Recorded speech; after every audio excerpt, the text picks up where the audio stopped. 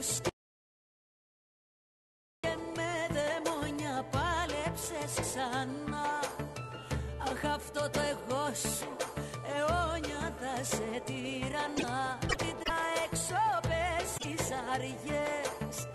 Εγώ σου ανοίγω πόρτες Μα εσύ το φεύγα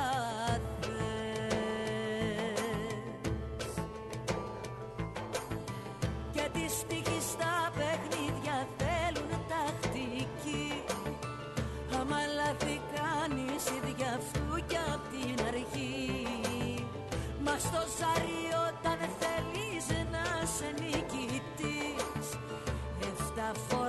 φορές αν πέσεις, οχτώ να σηκωθείς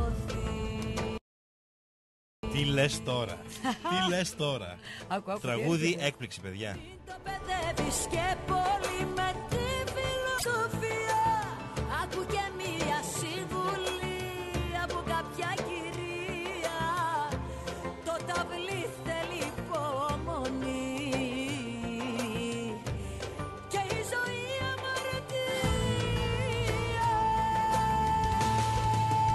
Γίνεται χαμός με τα μηνύματα. Δεν θέλω να χαλάσω το τραγούδι, αλλά όπως βλέπεις, ο κόσμος το έχει υποδεχτεί πάρα πολύ θετικά. Είναι πάρα πολύ διαφορετικό. Πάρα πολύ διαφορετικό. Ωραία Ολοκένουργιο, ολοκένουργιο τραγούδι από την Άννα Βύση. Περιλαμβάνεται, θα συμπεριλαμβάνεται στο άλμπουμ που βγαίνει, που κυκλοφορεί περίπου σε 10 μέρες.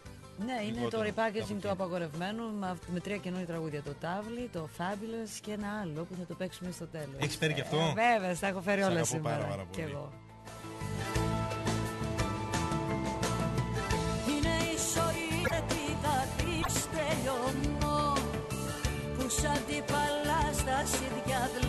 Σε αυτό. Μην ξεχνιέσαι όταν τα χαπέζεις πλακωτό. Αν σου πιάσουνε τη μάνα το έχασες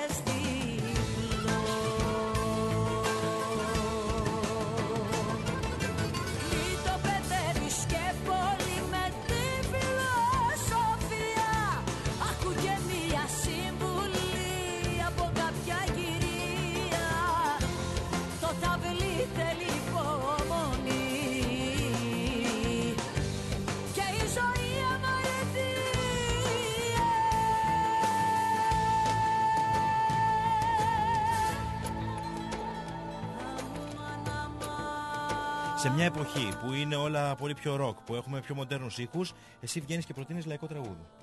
Και κάνω και μανέ. ναι, το έχει γράψει ο Γιάννης Κιφωνίδη στη μουσικη και ο, η Βάγια η Καλατζή. Είναι τα παιδιά, οι, οι, οι ίδιοι συντελεστές της αλήθειας σας ψυχής.